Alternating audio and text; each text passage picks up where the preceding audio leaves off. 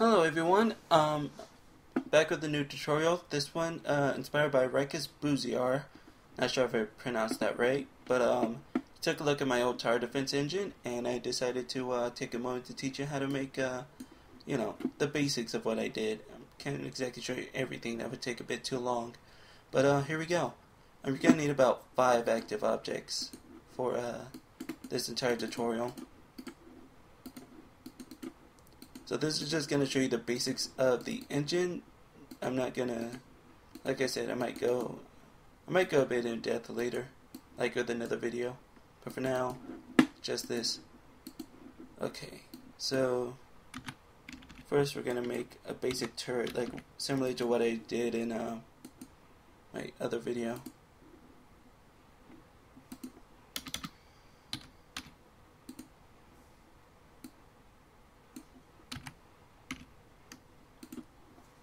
Okay.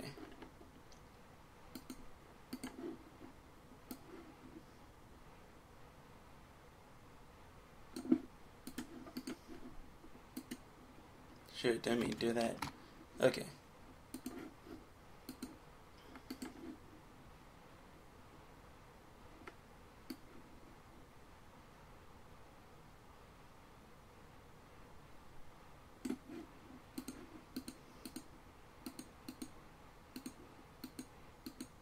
Okay, and once we have that done, dang it, come on. So you have that done, crop it, and we're gonna make the action hotspot like on the turret.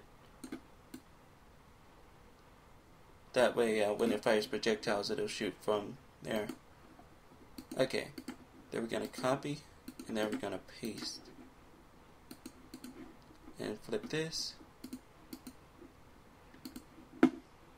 and make sure that it's still aligned because it's going to be a tad bit off, like a pixel off. Not that that's important, but consistency, you know? Okay.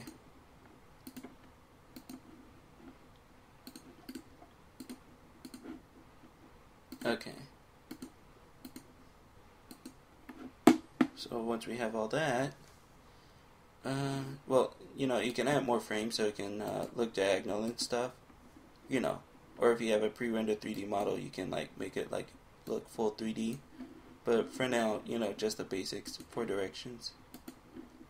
After we have that, we're gonna make our projectile. Or we can just simply call it a bullet. That's what I'm gonna do, but I think projectile is more fitting.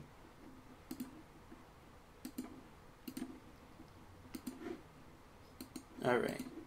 So even for 32 by 32, that's a bit big. So, okay.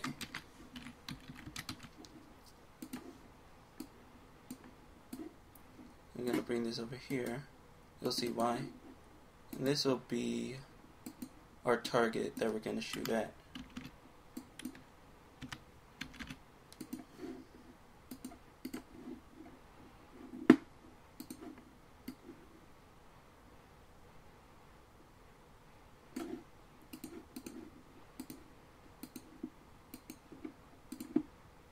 Alright, and once we have that, that's a little big, but that's fine.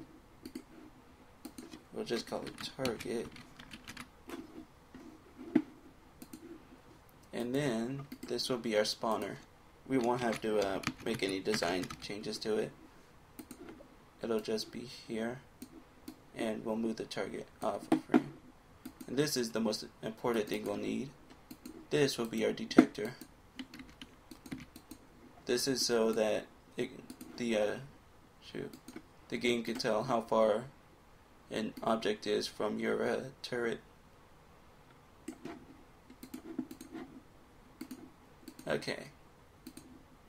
Once we have that done, uh, we probably want to see through it since, you know.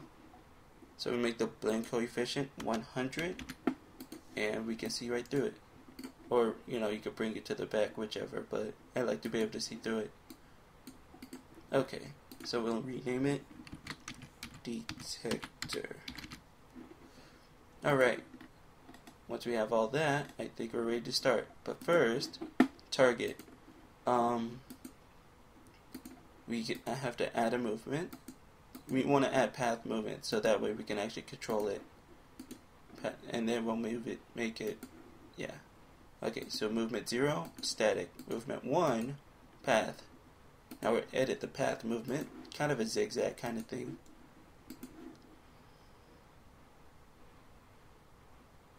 Okay, shoot.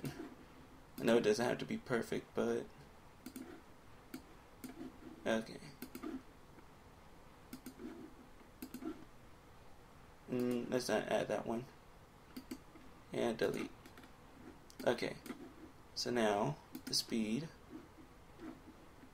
Let's make it 12. I had it 8 before, but uh, that was a bit too slow.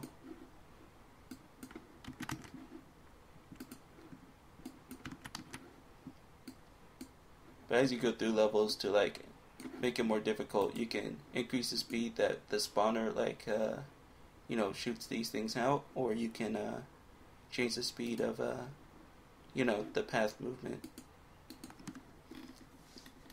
All right, once we get that done, we're ready to start some programming.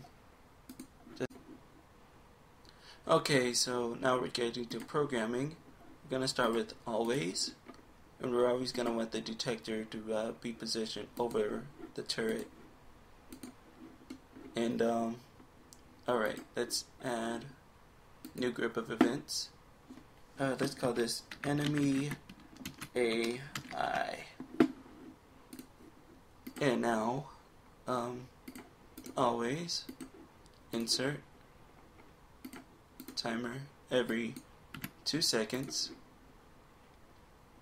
The spawner, oh no, create object, target relative to the spawner.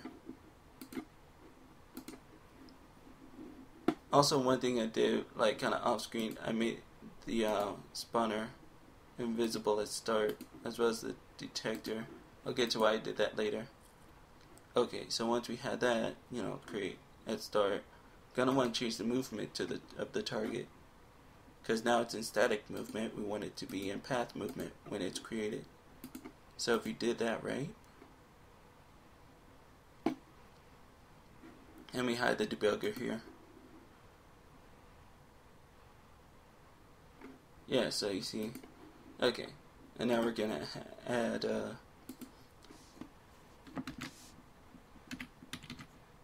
turret AI, and now when the target collides with another object, the detector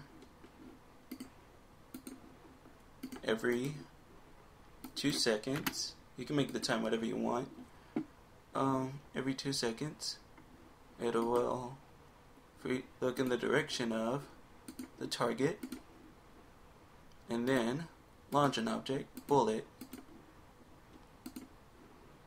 in direction to, relative to, the target.